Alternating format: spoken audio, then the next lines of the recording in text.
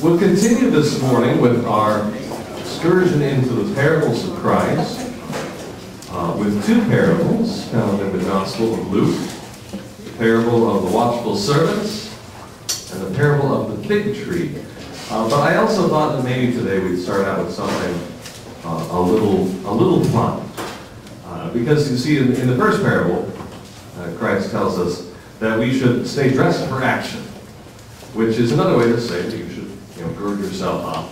And if any of you have, have seen a couple of times, and I'm actually hoping nobody has, uh, in my hall, but at the altar occasionally when I kneel and whatnot, it's a little awkward getting up because I just on a portion of, of, uh, of the uh, cloth there.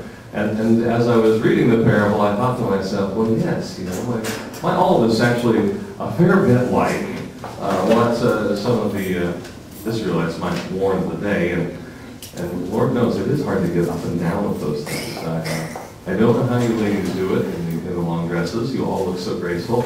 I look more like a bull in a china shop. So I thought it would be fun to go through and figure out how it is that, uh, that all God's people and, and the ladies in the long dresses could, could gird their loins and be ready for action. Uh, so if you look on, on uh, this side of our handout today, courtesy of some rather witty and, uh, inventive artists, we have the man's guide to how to gird your loins. And, uh, and as you see, you, you hoist up the tunic and, and you gather the extra material in the front, and you swing it around to the back, and then you pull it around to the sides and tie it up, and you're alb good to go. I don't expect anyone will ever see my all in that fashion. Uh, if it is, you should probably run. And so, on that note, uh, let's go ahead and we'll, uh, we'll begin with our, our parables today. And, uh, and the first comes to us uh, from Luke chapter 12. That's verses 35 through 48. And uh, I'd like to get a volunteer to read the, uh, the first paragraph there, which is verses 35 through 40. So don't you all rush and raise your hands, you know, in, in any sort of highly anticipated or anxious way. Uh, yes, there we go. We, we've got a winner in the back, if you would please. 35 through 40. Through 40, correct. Stay dressed for action and keep your lamps burning. And be like men who are waiting for their master to come from the wedding feast, so that they may open the door to him at once when he comes and knocks. Blessed are those servants whom the master finds awake when he comes. Truly I say to you, he will dress himself for service and have them recline at table, and he will come and serve them. If he comes in the second watch or the third and finds them awake, blessed are those servants. But know this, that if the master of the house had known at what hour the thief was coming, he would not have left his house to be broken into. You must also be, you also must be ready, for the Son of Man is coming at an hour you do not expect. Thank you very much. And another volunteer then to read verses 41 through 48. Then Peter said to him, Lord, do you speak this parable only to us or to all people? And the Lord said, Who then is that faithful and wise steward, steward whom his master will make ruler over his household, to give them their portion of food in due season? Blessed is that servant whom his master will find so doing comes. Truly I say to you that he will make him ruler over all that he has. Forty-eight. Please, yes. But if that servant says in his heart, My master is delaying his coming, and begins to beat the male and female servants, and to eat and drink and be drunk, the master of that servant will come on a day when he is not looking for him, and at an hour when he is not aware, and will cut him in two, and appoint him his portion with the unbelievers. And that servant who knew his master's will, and did not prepare himself, or do according to his will, shall be beaten with many stripes. He who did not know, yet committed things deserving the stripes, shall be beaten with few. For everyone to whom much is given, from him much will be required. And to whom much has been committed, of him they will ask the more. And thank you again. Let's, let's start at the very beginning. And, uh, and there's a couple of, of points that we want to, uh, to really consider as, as we read this. Uh, so the first is stay dressed for action and keep your lamps burning. And uh, to be dressed for action is, uh, it, it is actually quite similar to, uh, to girding up your loins, to be ready, uh, to be ready to do the work of the task at hand. Uh, this is this is the same kind of readiness that God's people were, were told to have as they ate the Passover meal in Egypt. You stand ready with your staff in your hand uh, to consume the food quickly. Uh, so this is this is the uh, it is warning to us that we we must be ready. And by by what do we uh, do we connect this with with this readiness? Um, and, we will get to that soon. But the, the, the, the point here is be ready and keep your lamps burning. And so, when we hear this word, keep your lamps burning, is there another parable that we've heard that involves uh, lamps that must be kept burning? Yes, yes. I had the same thought as well. I'm glad we're all agreeing. Uh, but yes, so, so these uh, virgins who were again awaiting the uh, a kind of, of marriage feast. They were awaiting the bridegroom, and they were to keep their wicks trimmed and to have sufficient lamp oil because they again, like the master in this parable, did not know the hour of the arrival. And so when we hear this, keep your lamps burning, um, we can also think of what a lamp does and how we talked in previous parables about uh, the lamp on the lampstand, that it is uh, to give us light and illumination. And of course, what kind of, of light uh, does the church celebrate and, and confess? It's Sunday, you know the answer. That's right, Jesus, the light of the world. so yes, so, so we are to keep our lamps burning. And, and in this way we are to stand ready and to keep our, our life of faith, uh, that uh, the word of Christ, uh, law and gospel, alive and burning and active and ready for the action in this world, uh, because the Master is coming. Um, so, so as we as we think of these uh, these things, uh, let's also think of ourselves, because that's truly who we're talking about. And then uh, there is a, a, a change in the language as we get into verse 36, uh, and then also in verse 37. And so 36 says, And be like men who are waiting for their master to come home from the wedding feast, so that they may open the door to him at once when he comes and knocks. But then verse 37 says, Blessed are those servants whom the master finds awake when he comes.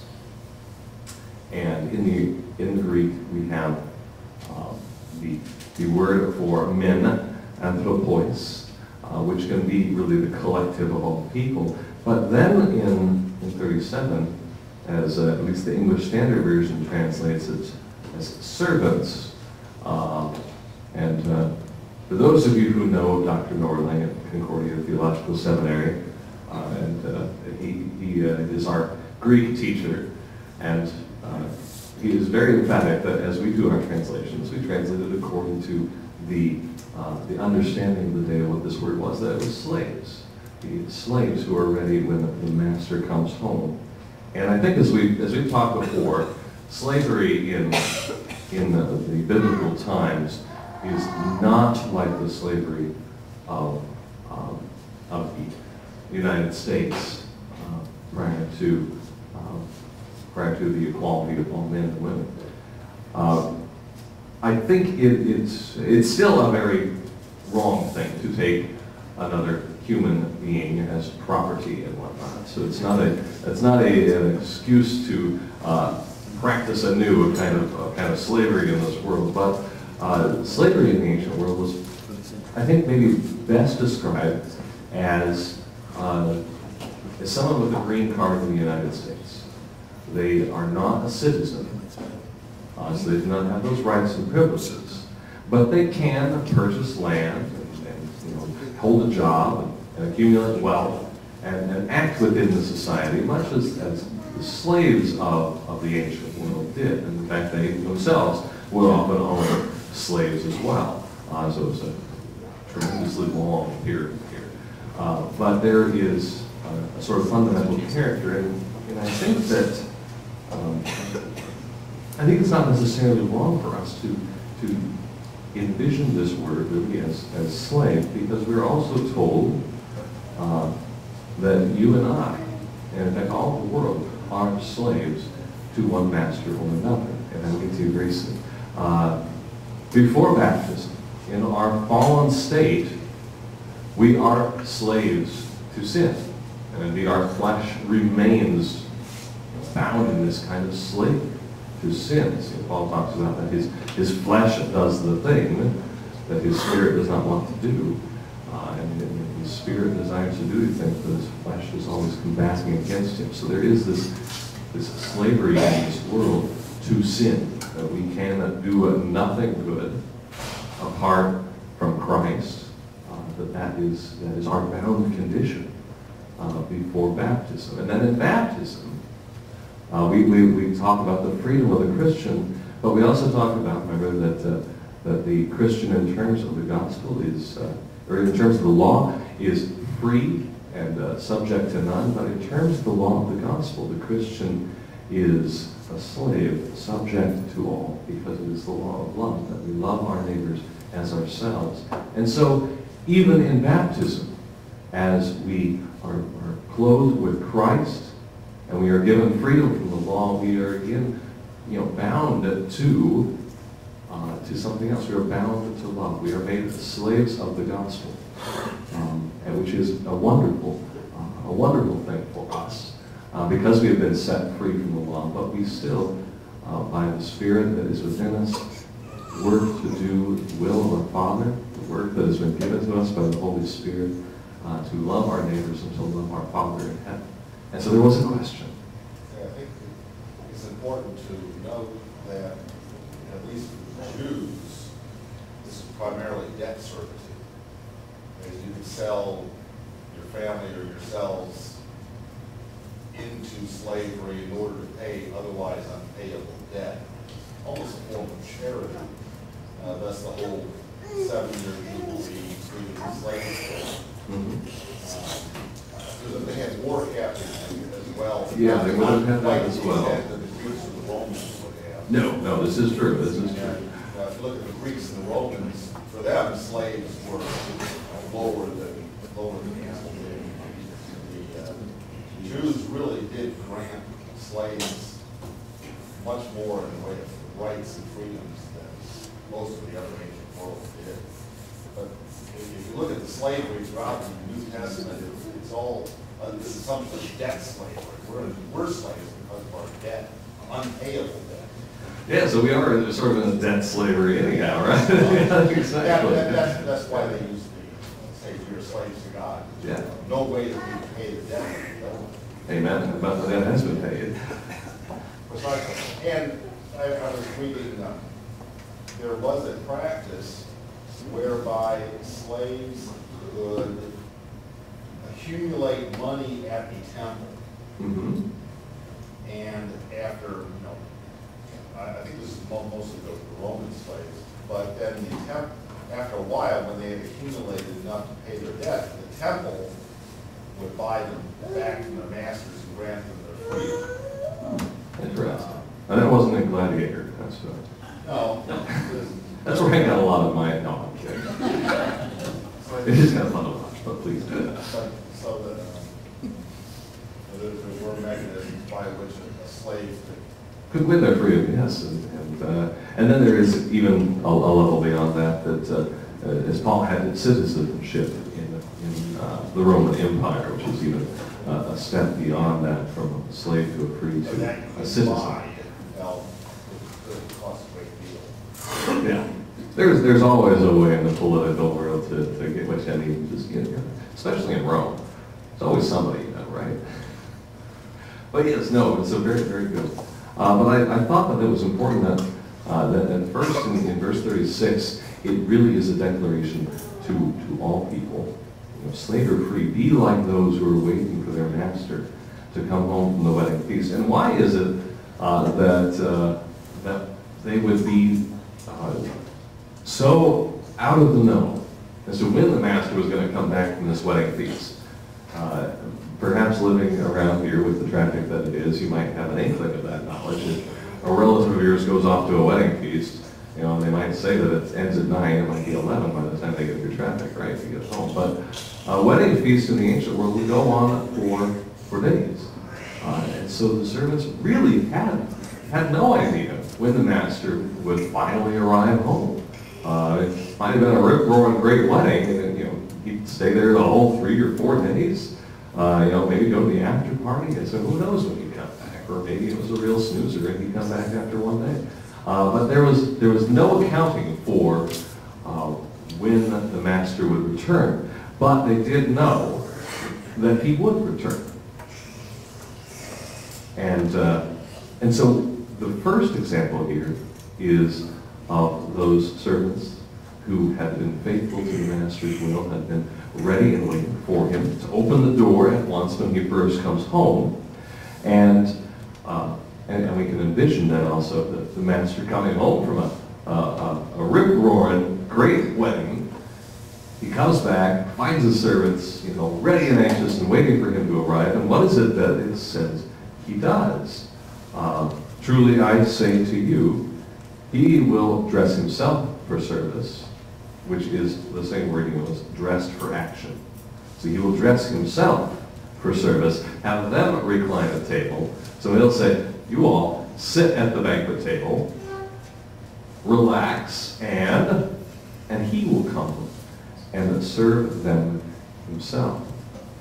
Uh, so he's in such a great mood that these faithful servants get the night off, not only a night off to do whatever they want, but the night off to have the master come to serve them. And we also then, hearing this, uh, think of another master who came to serve and not be served. That master would be, that's right, it's Sunday, the answer is always Jesus. Especially, and, and, and of course, you know, Peter was, uh, was a Gaspedus and would not have, have our Lord wash his feet. Uh, but, uh, but Christ was insistent that he came to serve and not be served, that he must serve us. And so uh, that is the sort of great role reversal uh, that, that we see in our parable here, that here is the, the great Lord Master who is to be feared, who is to be loved, who has come home and dressed himself for action to serve his faithful servants. But then, of course, we flip the other side of the coin with the servants who have not been ready. At the second watch or the third watch, uh, which would have, I think, been the, uh, 8 to midnight, midnight to 4 a.m., uh, somewhere in that range. Um, so at any rate, at a later hour, a time when one might not be expected to come home, and uh, and uh, if the how if the master comes to the house, uh, well, actually, I'm, I'm getting ahead of myself, aren't I? Um, you know, blessed are those who are awake when he comes in those midnight hours. Uh, but then we also have what is a very sort of uh, logical, you know, proper statement. If the master had known when the thief was coming, he would not have left his house to be broken into. If we knew when that bad thing was to happen, we would be ready for it. If we had that foreknowledge, uh, we, we wouldn't get away from home. We would stand ready to, to face and confront the thief. Uh, but, uh, but what it says is, know this, that if the master of the house had known at what hour the thief was coming, and that's you know sort of that, that opportune and appointed time. It's not a, it's not an hour as in like a specific time during the day, like you know the, the chronos, the, the time of, uh, of you know, minutes and seconds, but that that that moment, that uh, that that sort of opportunity, that time, um, in that sense, uh, when the thief was coming, he would not have left his house to be broken into. And this is the same uh, time, the same hora or hour uh, that, uh, uh, that Christ uses in his first miracle. Same sort of words, that same sort of idea. And of course, that's the wedding at Cana, and, and the, the Virgin Mary comes to Christ and says, they're out of wine. And, uh, and what is Christ's response right away? He says, what's it to me to you, woman? Uh, not necessarily as disrespectfully as our 21st century ears might hear, but it is obtuse. It's not really an answer to the, the, the, the, uh, the questions she's coming to ask. Uh, he said that my hour has not yet come. That opportune time has not yet come. Um, and, and so, uh, as we're reading this, uh, another connection that our hearers would have heard with the hour that the thief was coming, the hour of our Lord that was not yet there in Cana. Um, but again, we have that connection back to a wedding feast, a connection back to uh, Christ as the bridegroom, or as at the wedding in Cana, Christ as, as the host, really, the host of this joyous wedding feast. For he was the one who turned the water into wine, and then, of course, you know, everyone commended, oh, hey, you, you serve, uh, you serve the good wine to all these drunk people that can't appreciate it. Uh, but Christ provides the very best gifts. I always did chuckle at that with the wedding at Cana because, you know, you always serve the really good stuff first, and then you can you know, slop into the second and third tier wines. But Christ gives the very, very best. Uh, it's really in his nature to give his very, very best. Uh, but as, as this host of, of the wedding feast, um, as well as as, uh, as the bridegroom for whom the virgins wait, and also uh, the bridegroom of the church. Uh, that uh, that uh, this, this wedding imagery uh, is so rich with our Lord. And so the, the verse 40 there then concludes, You also must be ready, for the Son of Man is coming at an hour you do not expect, at that opportune time that they, that they don't expect. Uh, and really, truly, we can think of it again as another time that we do not know or expect. Again, this acknowledgement to be ready. Um, uh, I remember watching uh, Parks and Recreation. I can't remember what episode it was, but it closes. Uh, and, and, part of the reason I remember it is they talk about May 20th, which happens to be my birthday. For any of you who are, are planning to do any birthday shopping. I'm kidding. Uh, but at the end of the episode, there's a there's a, a, local man from Pawnee who's, who's in there meeting with Leslie and reserving a park, uh, you know, because it's going to be the end of the world um, on May 20th. And she says, oh, May 20th, we have a council meeting and a couple other things. And he, and he looks down, oh, no, I, I miscalculated, the, the 21st. Uh, and she says, oh, the 21st is clear. Okay, that's the end of the world, you know, it's the, had it on the calendar. But no one knows this time or hour. Uh, and of course, you know, it's, it's fun to it's fun to poke fun at those who, who, who do all these, these uh, tremendous mathematic machinations and say that I know, I know when this happens. Uh, yeah. So is that a warning about the second coming, should ready for that, or for our own personal? Your own hour. Yeah. Um, you know, I, I, I don't think that it necessarily needs to be divorced from either meaning in this case. Um, uh, for ourselves, it probably actually is, uh, well, really, since no one knows the time, I wouldn't even say that for ourselves we should be ready for our own hour. Because uh, who knows, it might be in the middle of the divine service today uh, that, that, uh, that, Christ comes back, uh, which would be a great place to be, I, I would think. Um, but, uh, but yes, to be ready for our own hour, to, to keep that, that light of faith, that lamp burning within ourselves, um, to, to feed it with the lamp oil and fuel of, of the sacraments of the Word and, uh, and, and uh, being served by, by God in church. Um, those are those are very those those are the methods by which we keep that lamp burning. And yes, I I think uh, at least for for those of us more practically minded, um, you know, that, that, that like to plan our days, uh, it's probably better for us to think, you know, in our human terms of being ready for our own hour. Uh, but but also certainly be ready for the hour, uh, capital T, uh, uh of, of Christ's return. Uh, so then, then, you know, Peter comes and he sort of asks a, a similar question, actually, to that. He says, Lord, are you telling this parable for us or for everybody around here? Um, and I think that really is a, a demarcation in the parable uh, that the parable of the watchful servants, um, I, would- I would argue, is, is for everyone. Uh, but this next parable, while applying to all of us, you know, the royal priesthood, uh, I think it applies uh, uh, most firmly uh, to those in the ministry. Um, those who are you know, called to preach the word and administer the sacraments. And as we walk through, I'll, I'll present to you my arguments for that. Uh, so then, you know, Christ replies, Who then is the faithful and wise manager, whom his master will set over his household to give them their portion of food at the proper time?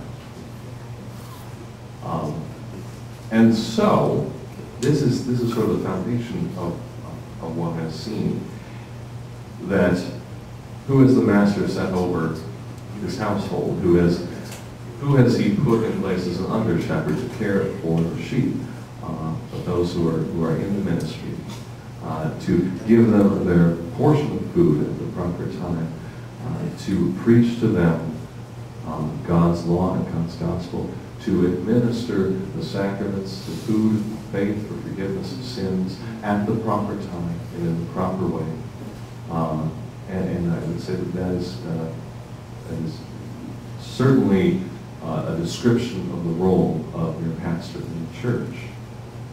And, uh, and so again, blessed is the servant whom his master will find so doing when he comes. Um, it doesn't need to be exclusively the clergy here that we're talking about, because we also, in our own vocations, have been sent over a household to care for.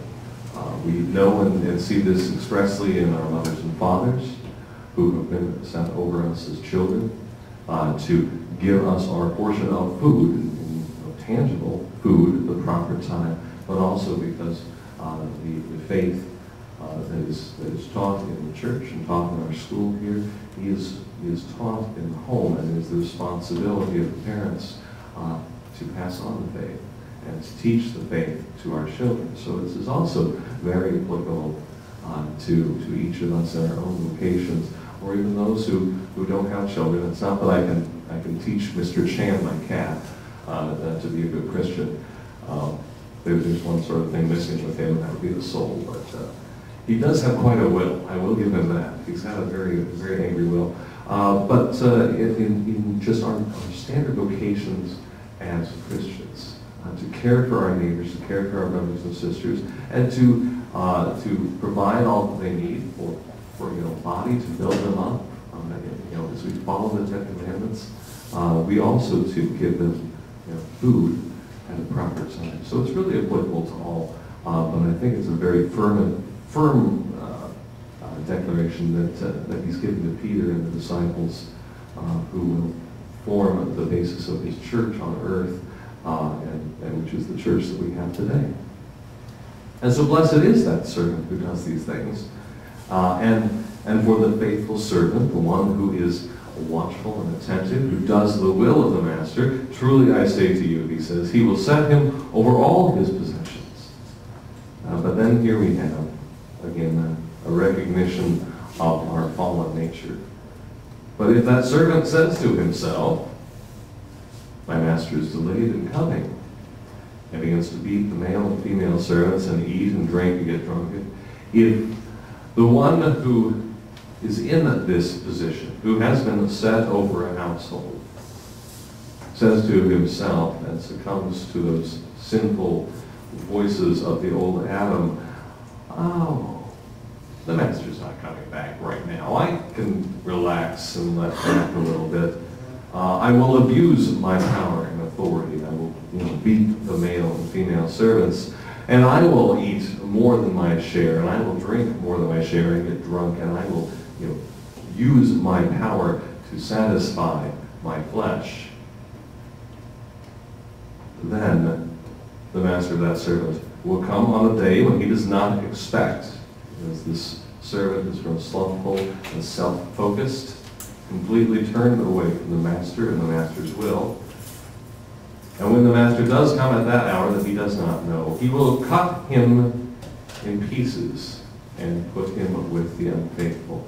And actually, I think, uh, I think, Barb, when you read it for us, you had a slightly different translation. Could you read us again uh, from, uh, I believe it's verse 46? The master of that servant will come on a day when he is not looking for him, and at an hour when he is not aware, and will cut him in two, and appoint him his portion with the unbelievers. and appoint his portion with the unbelievers. Um, It really is a, a, a visual of, of the eschaton, to, to slice him into pieces, uh, the most severe punishment possible, and to cast him out, a broken uh, and, and killed man with the unfaithful, with the unbelievers. Um, And it's, the- it's, the- it's certainly the most dreadful punishment um, that that I think we can imagine. I think that's really the point of this really uh, horrific visual, is that this is a, an eternal lasting punishment.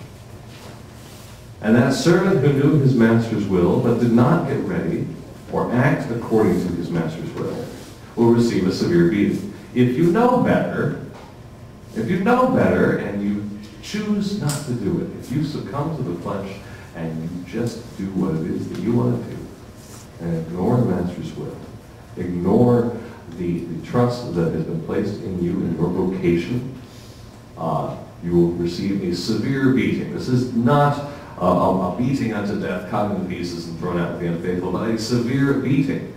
Uh, this is uh, probably tantamount to uh, Saul and getting knocked square off his horse and landing on the ground. You're going to get knocked down. A severe beating.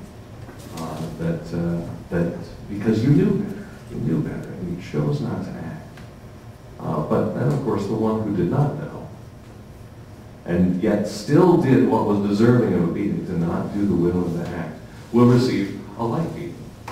So even those who are ignorant of the faith uh, will, will receive a punishment. Those who are, are ignorant of the Ten Commandments, the, the poorly catechized Christian, uh, who, who holds to uh, you know, faith in Christ, who's been baptized, who's clothed with Christ, who's a, you know, slave of the gospel, um, they will, they will still be deserving of, of punishment.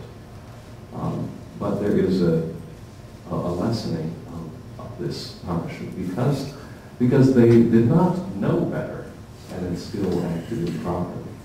Uh, now, this is certainly not to talk about eschatology in the sense of, of uh, you know, we, we, we, we need to know better and, and, and hope for only a light beating uh, because the, the, uh, the truth is that Christ has atoned for all of our sins, those willful ones and those unwillful ones, the ones that we know we've committed and the ones we don't know we've committed.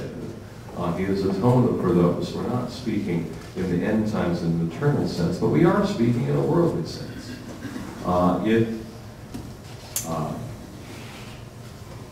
if someone as an adult knowingly takes money, you know, steals steals from their employer, uh, uh, they will they will certainly incur punishment in our in our temporal world.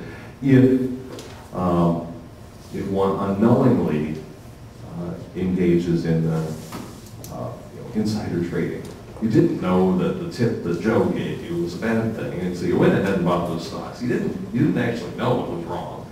It's still wrong. You'll still receive that sort of temporal punishment, but there is a leniency given to that. Uh, and so we're, we're still talking about sort of temporal uh, in this world in the church, uh, to, that, uh, that we are to, uh, in our dealings with each other, still speak the law, and speak the law in love.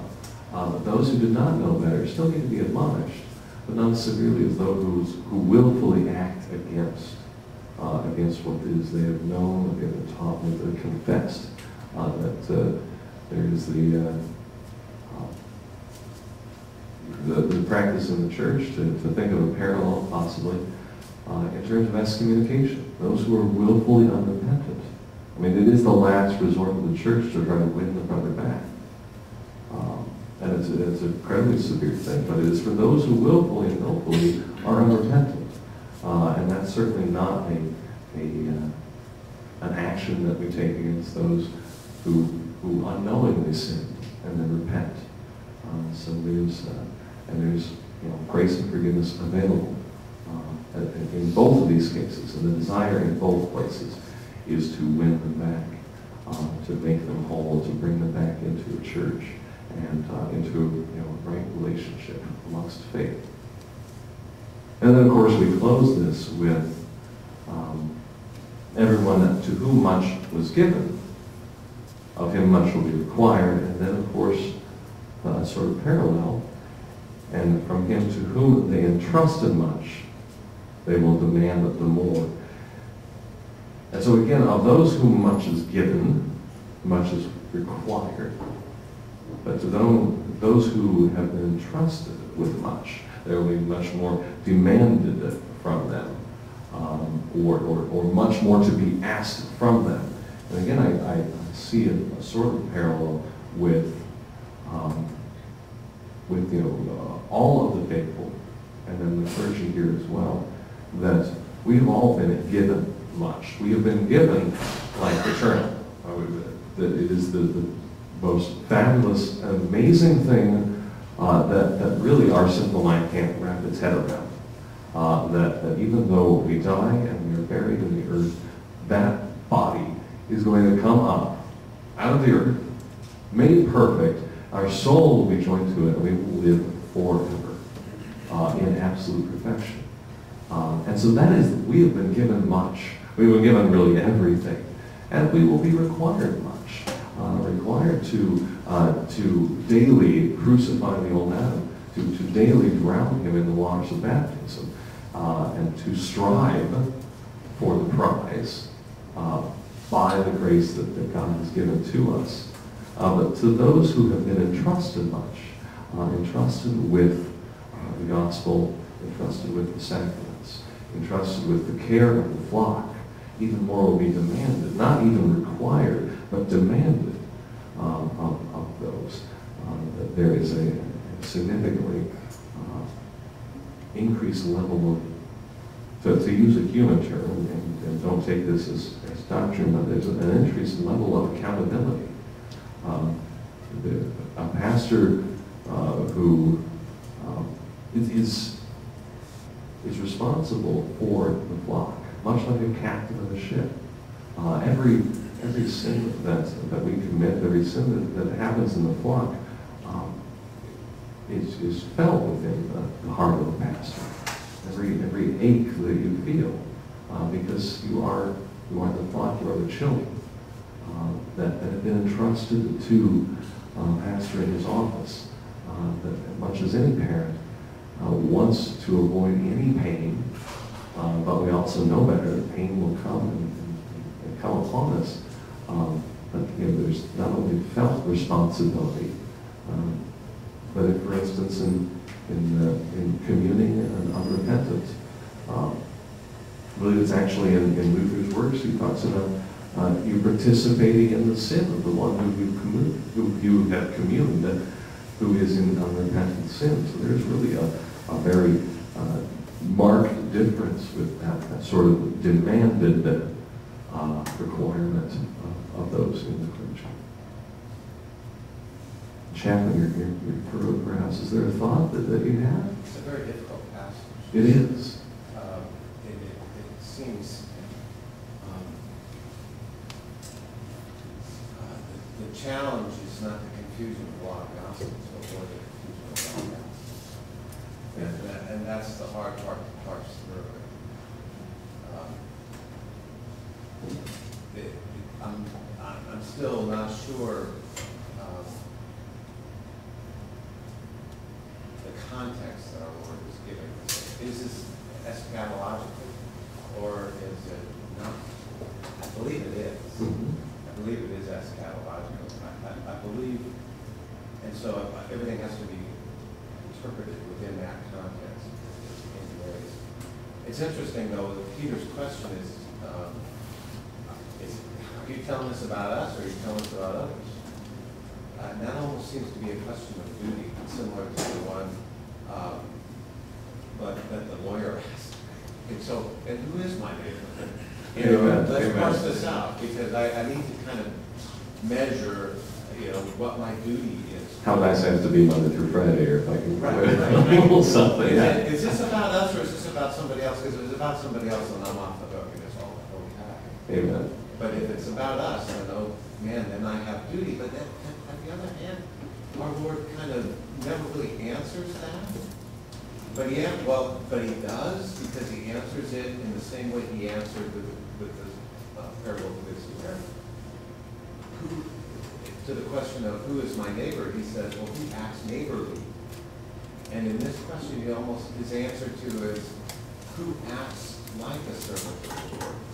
What is, what is being a servant? It's not about your duty, because you have been given much. There is nothing really that you can do to earn your salvation. And so out of that relationship, what do you do? How- How do you, where is your fruit? It's not a requirement, it is just who you are. It's, it's, it's an outgrowth. And so he kind of turns it back and, in, in a gospel sense, he's saying, just be the church. Allow the gifts to emerge as you have been given. To, one- to the one, much has been given, much will be required. I would be really interested in what the Greek says in terms of requirement. Is it a duty question or is it a harvest? Is it the same question they asked, him, is it tied to the parable of the fruit? Amen. And In fact, when you spoke of fruit, I was thinking it's a beautiful segue. So thank you, Jim.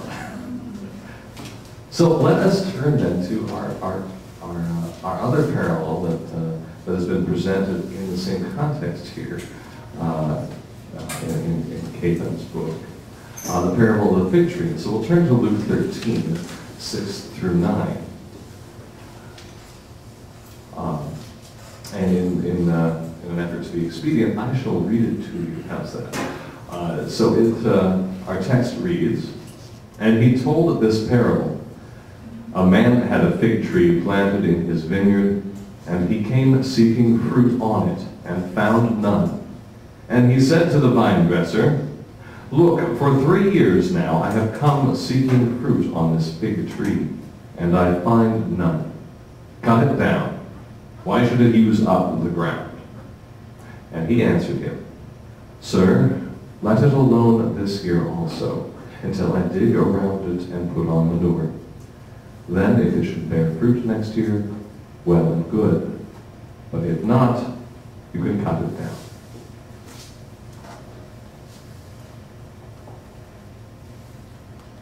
And, uh, and so as we begin with, it, it may strike us as somewhat odd. There's a fig tree in a, in a vineyard. Um, but uh, some positive that, uh, that the very reason it's sort of unique is because this was, this was sort of a pet project of, of the owner of the vineyard. This was, you know, this was his fig tree that he'd made for his own, his own enjoyment, his own pleasure. Uh, you know, the, the bulk of the work there was, was, uh, was the vineyard, but, you know, he had this, this special fig tree. Uh, it was sort of his own thing. Um, take that for what it's worth. I don't know that the text leads us in one direction or another. Um, but, uh, but as we, as we sort of think of this, um, you know, he says to the vine dressers, who's gardener, who's taking care of all this work, you know, I've been coming to this, this fig tree for three years, and I've been wanting a fig. And there is nothing on it. It has produced no fruit at all. Uh, and so it, it, uh, it seems, it seems useless.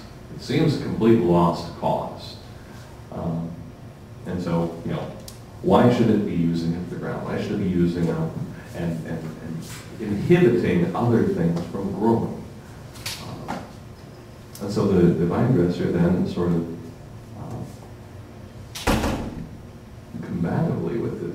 uh, combatively with the, with the master in a sense, or at least uh, with a greater sense of leniency. So, sir, let it alone this year until I can work on it, until I can dig around it, uh, you know, upset its roots, uh, and, and inject some manure in there, inject some good deep nutrients into it. And then, and then we'll see if the fruits will spring forth from the tree. Uh, and if it doesn't happen, then yes, let us proceed with your course of action. Um, and so if you might recall, we talked about uh, this word, aphesis, uh, several times, and we look back then also to uh, the uh, parable of the weeds and the tares, where uh, the, the master in charge of the land says, you know, let the weeds be, let it be, uh, until harvest time. And then we'll, we'll cut everything down, sort out. It's the same, it's the same word used here where the vine dresser says, Sir, let it alone, or basis this year also. So forgive it for its lack of fruit. Uh, but give me time to work with it. Give me time to upset its roots. Uh, and, uh, and, and so uh, in this case, we, we can see the, the Lord of the vineyard as, as, as our Father in heaven, who has created all these things, continues to maintain them, uh, know, brings the rains to, to fall, um, and cares for all of his creation. And uh, in the context of, of, of, uh, of Christ's parable here, uh, the fig tree, you know, sort of this, this, uh, this sort of pet project, if you will, um, is much like you know, the, the unbelieving uh, people in, in his chosen people, the folks who have, who have been cared for, who are in his vineyard, in his, in his world of salvation, but they're not producing this fruit.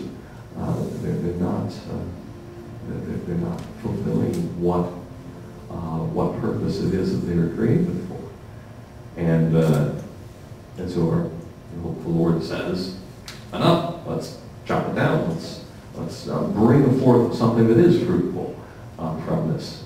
And, uh, and the vine dresser uh, is probably an imperfect analogy, but I, know, do we not see Christ in the vine dresser uh, who says, you know, let it alone, let it be, um, you know, forgive it and give it time.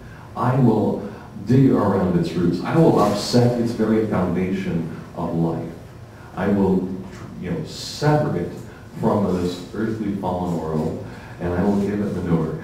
Really, uh, uh, it's, I think it's an appropriate phrase because you know, there's a lot of things in this world that help to uh, that help to strengthen our faith, and many times it is those those trials that we go through, the fire that uh, that the, the Christian is subjected to, uh, to purify, to take out the dross, to refine the gold that our Lord sees in us.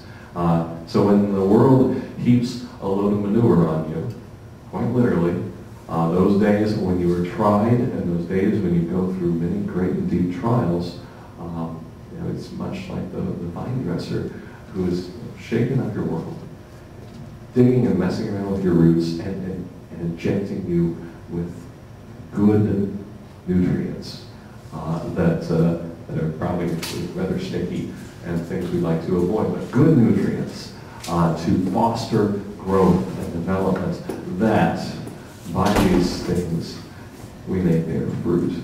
Um, and again, it's, uh, as, as, as Chad was saying, very important to delineate uh, the difference between you know, a law and gospel as well as, as you know, our, our work and our salvation in this sense. And so the fruits here are, are uh, as with all fruits, a natural product of what it is we are intended for. We are created to receive God's blessings. That is, that is the whole point of our creation. And then we are intended in our very way that we are made uh, to bear the fruits of repentance, to, to in our Christian baptism, in the faith given to us, and then nurtured by, uh, by the Word and the sacraments, we can do nothing other than to grow and manifest these fruits of righteousness in our Christian vocation, our Christian life.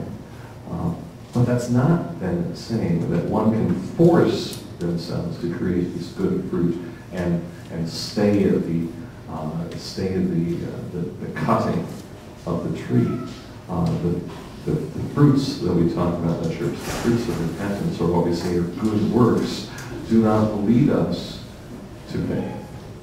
Uh, rather, faith is what compels us and leads us inexplicably to bear good fruit. Fruit according to the gifts that we've been given. Uh, not all of us bear the same kind of fruit. Um, we have different gifts, different talents. Uh, and so how those, those fruits of righteousness uh, from, from being uprooted with Christ and, and, and, uh, and- given our, uh, our nutrients by the gardener uh, manifest in different ways. But then some trees resist these nutrients and resist uh, the bearing of fruit, at which point they also shall be cut down. Gentlemen? I was gonna say, it's interesting to note that the people to whom he's given this parable are the Jews, who were. His pet project is, you know, his chosen people His chosen to people. carry forth the, the salvation. that they, they lack, it's not necessarily good works, they lack faith. Amen. So what is, maybe you could say faith is the wonderful fruit that Jesus is looking for, and the, and the, the, the manure is the repentance. Because they ask it in that context, of who's the worst sinner, is it someone who's repent? So, Amen. it's part, it's a part. Yeah, but that's what makes this fun, right? All right. Thank you, everyone, very much. We'll, uh, we'll close here briefly with prayer, and then we'll proceed out uh, for our divine service. In the name of the Father, and of the Son, and of the Holy Spirit. Heavenly Father, we thank you that you have revealed to us your word, which is our salvation in this world, the atoning sacrifice of your Son on the cross, that all who believe on his name will not perish, but have life eternal. We ask that you Defend us this day and the rest of this week as we go about our vocations in this world, and we eagerly await your word and your strengthening sacrament in your divine service today. And you make yourself ready that we may recline at table and you serve us. In Jesus' name we pray. Amen. Thank you all.